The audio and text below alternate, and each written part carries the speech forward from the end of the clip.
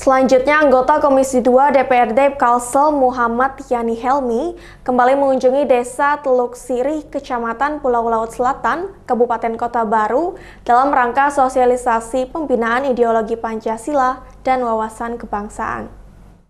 Sosialisasi pembinaan ideologi Pancasila dan wawasan kebangsaan juga turut dilaksanakan anggota Komisi 2 DPRD Kalsel Muhammad Yani Helmi terhadap warga pesisir, tepatnya di Desa Teluk Siri, Kecamatan Pulau Laut Selatan, Kabupaten Kota Baru.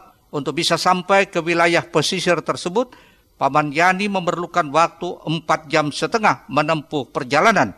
Inilah salah satu tantangan agar edukasi yang diberikan kepada warga pesisir itu berhasil tersampaikan. Pasalnya ideologi Pancasila dan wawasan kebangsaan ini harus terus digelorakan kepada masyarakat, khususnya generasi muda, untuk terus memperkuat dan menanamkan rasa cinta tanah airnya. Harapannya setiap warga memiliki jiwa sosial dan semangat yang tinggi demi menjaga keutuhan NKRI. Diakuinya Meski cukup melelahkan, politisi Partai Golkar Kalsel ini mengharapkan kegiatan yang kembali dilaksanakan olehnya tersebut bisa mendapat keberkahan tidak hanya untuk dirinya, melainkan semua masyarakat.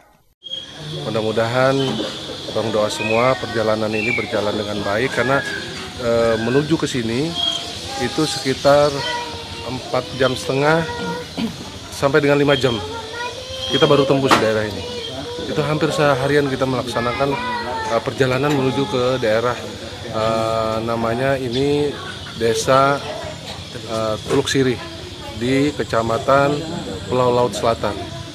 Jadi hal yang melelahkan ini insya Allah menjadi berkah buat kita semua. Bukan hanya untuk saya tapi juga seluruh warga masyarakat. Diyakininya desa yang merupakan daerah pesisir tersebut ke depannya bakal menjadi wilayah yang besar dan berkembang seiring dengan pemanfaatan hasil lautnya. Sosialisasi tersebut juga dirangkai dengan penyerahan secara simbolis kenang-kenangan kepada warga dari anggota Komisi 2 DPRD Kalsel mulai dari bingkisan, hand sanitizer, hingga masker. Muhail Banjar TV